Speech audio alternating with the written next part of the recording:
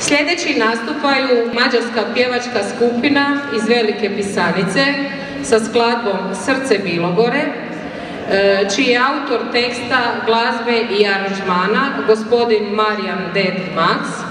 I ono što je on želio posebno naglasiti večeras, a to je da je ova pjesma posvećena, kako on kaže, našem najboljem i najiskrenijem tamburašu, bas primašu, Miki Rakušu, koji se doselio iz Slijema i živi ovdje na Bilogori. Pa evo njemu u čast. Srce Bilogore.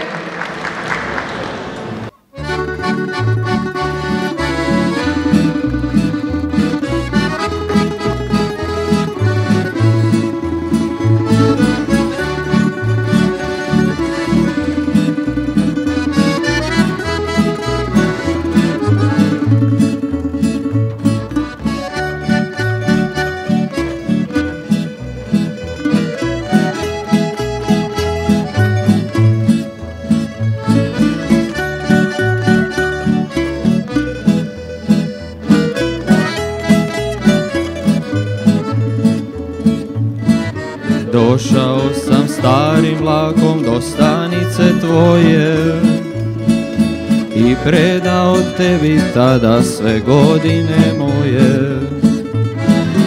U meni je zaigralo srce cijelog grada.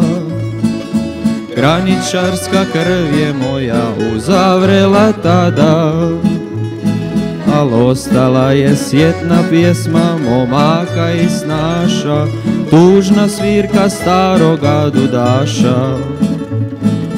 Polagano ušao si u sve moje pore Voljeni moj grade, srce bilo gore. Ja u tebi živim sad I ti živiš sa mnom tu Dao si mi ljubav svu A ti primi pjesmu moju. Ja u tebi živim sad Najdraži si sad moj grad. Moja pjesma ti je dar Voljeni moj Bjelovar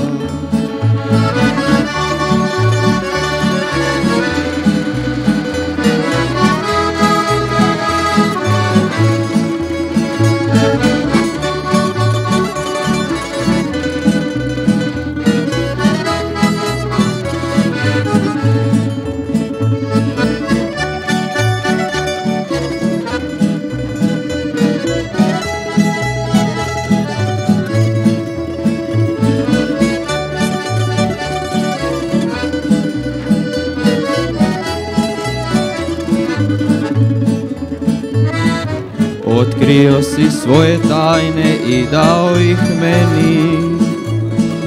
Kao što se ljubav daje voljenoj ženi. Sad za tebe kuca to sremačko srce. Za tebe moj grade i sve bilo gorce. Al ostala je sjetna pjesma momaka i snaša Tužna svirka staroga dudaša. Polagano ušao si u sve moje pore. Voljeni moj grade, srce bilo gore. Ja u tebi živim sad I ti živiš sa mnom tu. Dao si mi ljubav svu A ti primi pjesmu moju. Ja u tebi živim sad Najdraži si sad moj grad. Moja pjesma ti je dar Voljeni moj Bjelovar moja pjesma ti je dar Voljeni moj Bjelovar